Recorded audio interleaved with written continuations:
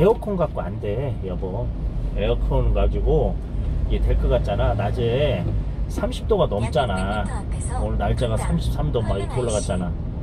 이게 다 이렇게 냉을 받잖아, 열을 받잖아, 열. 500m 앞 50km 아무리 에어컨을 틀어도 햇빛이 들어온단 말이야. 이 저기 나오는 데만 열기 나오는 데만 의식이고 안 돼 이게 제대로 안 돼. 저거 살까? 이게 통풍되는 거. 통풍되는 그걸 해갖고 아 이게 아 서울 진짜 어마무시하고만 강남 차들이 어마무시하게 많네. 아이.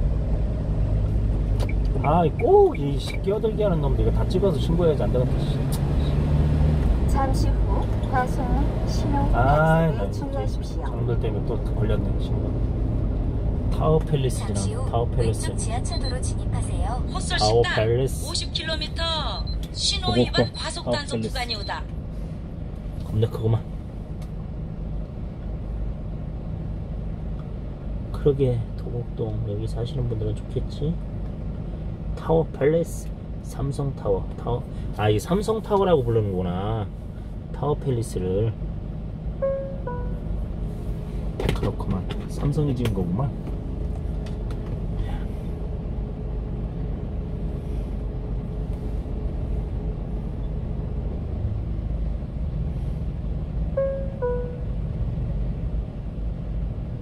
열심히 달리고 있슈.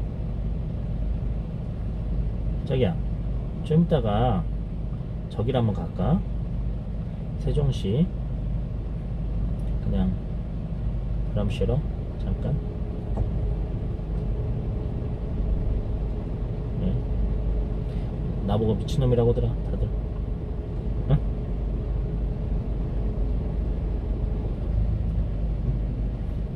미친놈이래. 오늘 소매도 어? 소매할 사람도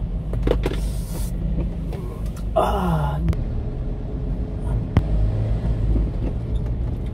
그냥 자기야 어, 우리 남는 거 10% 남는데 깎아줄게요 다음 안내까지 그지? 계속 직진입니다. 그래도 겁나게 싼 거니까 잉? 버스 자동차로 종로 지점. 야 이게 진짜 이 원청이 나 사람들이 그러더라 잉.